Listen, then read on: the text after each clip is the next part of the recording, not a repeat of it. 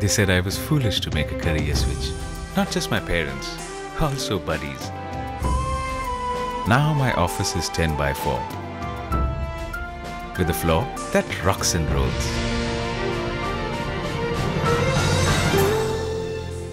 And customers keep coming back.